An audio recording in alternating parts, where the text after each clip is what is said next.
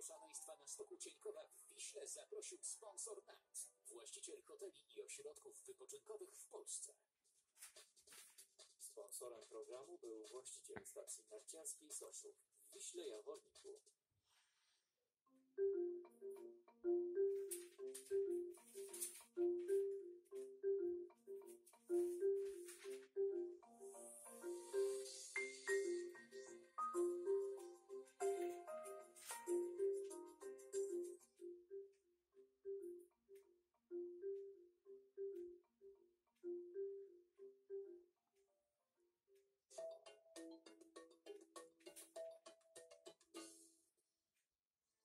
Ta niewielka antylopa zna każdy skrawek swojego królestwa i wszystkich jego mieszkańców.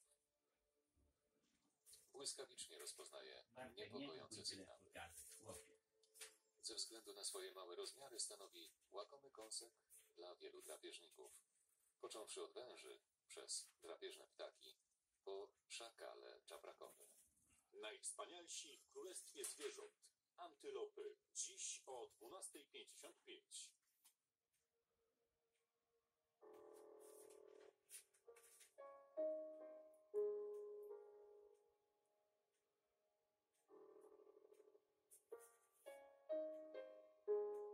Rzeszowski Cichociemny. Pseudonim Kra. Dziś o 14.50. My, Polacy, przez wieki walczyliśmy o swoje państwo, o jego granice, o bezpieczeństwo, religię, język i kulturę. Dlatego nie przestajemy tworzyć, budować, ciężko pracować. 100 na 100. 100 liderów przedsiębiorczości na stulecie odzyskania niepodległości. Każde spotkanie z Radkiem Brzuską to arcyciekawa przygoda.